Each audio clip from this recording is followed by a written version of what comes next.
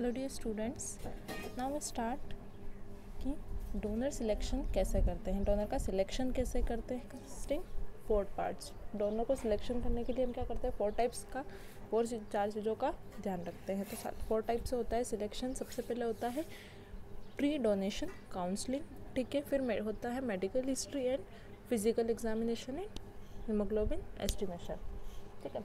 इन सबको पढ़ने से पहले हम पहले वापस से रिवाइज करेंगे कि डोनर स्क्रीनिंग होता क्या है? ठीक है तो डोनर स्क्रीनिंग में क्या होता है कि जो ब्लड डोनेट करने वाला डोनर होता है, उसकी हम स्क्रीनिंग करते हैं मतलब कि उसकी डिटेल्स लेते हैं पूरी कि वो कितना उसको ब्लड देना है, कितना वॉल्यूम ब्लड देना है, कहीं वो इन्फेक्शियस है या नहीं है, उसका पूरा ध्यान रखना है। कहीं वो इन्फेक्शियस तो नहीं, अगर इन्फेक्शियस हुआ तो क्या होगा कि जो हमारा रिसिपियंट है, उसकी बॉडी को हार्म पहुँचा सकता है। इसलिए हम डोनर की पूरी स्क्रीनिंग करते हैं कि वो कैपेबल है या नहीं ब्लड को डोनेट करने के लिए। ठीक है? फिर हम करते हैं डोनर का सिलेक्शन ठीक है? टाइप्स हमने पढ़े थे कि डोनर के टाइप्स कितने होते हैं। ठीक है? एक होता है वॉलेंट्री एक होता है प्रोफेशनल ठीक है? और एक होता है रिप्लेसमेंट ये तीन टाइप के क्या होते हैं हमारे? डोनर होते हैं। ठीक है? उसके बाद नेक्स्ट हम आप पढ़ेंगे कि सिलेक्शन कैसे करते हैं डोनर का सिलेक्शन कैसे करते हैं। तो सबसे पहले हम पढ़ेंगे कि प्री डोनेशन काउंसलिंग क्या होती है, ठीक है? तो प्री डोनेशन काउंसलिंग को प्रोग्राम का मतलब होता है कि जो डोनर आपको ब्लड देने के लिए रेडी है, उसको पहले हम उससे पूरी डिस्कस करेंगे कि कैसे आपको ब्लड देना है, उसमें कोई रिस्क है या नहीं है, उसको पूरी इन्फॉर्मेशन देनी है कि आप ब्लड डोनेट कर रहे हैं तो उसमें कोई रिस्क नहीं है, आप किस कंडीशन में ब्लड को डोनेट कर सकते हैं। तो उसके सबसे पहले हम देखते हैं उसका बिहेवियर ठीक है? फिर कहीं उसने कोई इननेसेसरी फ़ूड डाइजेस्ट ईटिंग में नहीं लिया हो, ये हम ध्यान रखते हैं, ठीक है? और उसको पूरा प्रोसीजर समझाते हैं कि उसको कैसे ब्लड डोनेट करना है, उससे पहले क्या रिस्क है उसको, ठीक है? उसके बारे में पूरा समझाते हैं और उसको श्योर करते हैं कि उसके जो क्वेश्चन है मतलब जो डोनर है, उसको पूरा कॉन्फिडेंट करवाना होता है कि आपको ब्लड देने में कोई रिस्क नहीं है, ठीक है?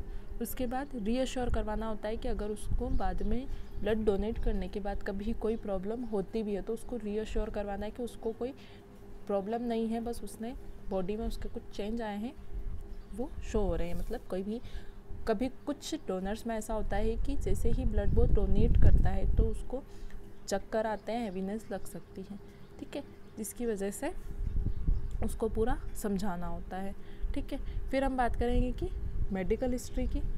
तो मेडिकल हिस्ट्री में क्या क्या हम देखेंगे? सबसे पहले देखेंगे हम मेडिकल हिस्ट्री में उसकी एज जो पेशेंट ब्लड को डोनेट कर रहा है, हम उसकी सबसे पहले एज देखेंगे तो जो एज लिमिट होती है डोनर के लिए वो होती है 18 टू 60 ईयर ठीक है? तो जिसमें सबसे बेस्ट एज जो होती है, वो होती है एडोलेंस मतलब एडल्ट पर्सन जो है वो, बहुत परफेक्ट मतलब इजीली उससे का ब्लड ले सकते हैं, क्योंकि उसमें कोई डिसीज़ कंडीशन नहीं बनती है, ठीक है? और उसमें क्या होता है आयरन जो नीड होती है वो भी ज़्यादा होती है आयरन काफ़ी ज़्यादा अमाउंट में होता है, ठीक है? उसके बाद रिस्क किसमें होती है, जैसे कार्डियोवेस्कुलर और सेरिब्रोवेस्कुलर डिसीज़ वाले मतलब ओल्ड एज वाले जो पर्सन होते हैं, उनमें क्या होते हैं, अगर ब्लड रिमूव किया है लार्ज क्वान्टिटी में अगर ब्लड रिमूव कर लिया है उनकी बॉडी से तो क्या होता है, उनको कार्डियोवेस्कुलर या सेरिब्रोवेस्कुलर डिसीज़ के चांसेस बढ़ जाते हैं, उनकी रिस्क बढ़ जाती है, ठीक है? इसलिए हम ओल्ड एज में ब्लड सैंपल मतलब ब्लड जो डोनर है उसको सिलेक्ट नहीं करते। ओल्ड एज पर्सन को एज ए डोनर हम सिलेक्ट नहीं करेंगे। ठीक है? फिर डोनेशन इंटरवल की अगर हम बात करेंगे तो डोनेशन इंटरवल मतलब कब उसने लास्ट टाइम ब्लड डोनेट किया था और वो नेक्स्ट टाइम कब कर सकता है। तो अगर हम बात करें तो जो ब्लड डोनर रहता है उसमें क्या होता है थ्री मंथ के ड्यूरेशन में वो ब्लड को डोनेट कर सकता है। मतलब जैसे किसी पर्सन ने आज ब्लड दिया है तो आज से जस्ट तीन महीने बाद वो वापस से ब्लड दे सकता है ठीक है? जैसे आपने जान सुना होगा मतलब आपने पढ़ा है कि जो आरबीसी का लाइफ स्पान होता है वो क्या होता है वन ट्वेंटी डेज़ होता है ठीक है? तो वन ट्वेंटी डेज़ में आरबीसी वापस से क्या होती है रिकवर हो जाती है ठीक है? उसके बाद बात करेंगे कि वॉल्यूम कितना लेते हैं। जो डोनेशन का वॉल्यूम है मतलब ब्लड कितना डोनेट कर सकता है। तो नॉर्मल वेट वाले जो पर्सन होते हैं, फोर्टी फाइव के जी और उससे ज़्यादा वेट वाले जो पर्सन होते हैं, उनका लगभग three fifty M L blood हम ले सकते हैं। थ्री फिफ्टी एम एल तक हम ब्लड मतलब वन यूनिट ब्लड हम ले सकते हैं। ठीक है? उसके बाद किस कंडीशन में हम ब्लड नहीं लेंगे तो प्रेगनेंसी और लैक्टेशन में जो फीमेल रहती है, उनका हम ब्लड कलेक्ट नहीं करते हैं, ठीक है? प्रेग्नेंट वुमेन या लैक्टेटिंग मदर जो रहती है up to one year post partum should not donate blood मतलब वो क्या करती है? वो पर्सन ब्लड डोनेट नहीं कर सकते हैं, ठीक है? फिर हम बात करें तो इन्फेक्शियस डिसीज़ की होती है, कि इन्फेक्शन की कंडीशन में इन्फेक्शन की कंडीशन में क्या होता है? ब्लड डोनेट नहीं कर सकते क्योंकि जो इन्फेक्शन ब्लड ब्लड इन्फेक्शन हो गया अगर किसी डोनर के ब्लड में इन्फेक्शन है तो वो क्या करेगा? किसी, अगर उसने ब्लड डोनेट कर भी दिया और अगर किसी रिसिपियंट को हम वो ब्लड डोनेट कर देते हैं या ब्लड उसको चढ़ा देते हैं तो क्या होगा कि जो डिसीज़ डोनर की थी, वही डिसीज़ क्या होगी? रिसिपियंट को भी हो जाएगी।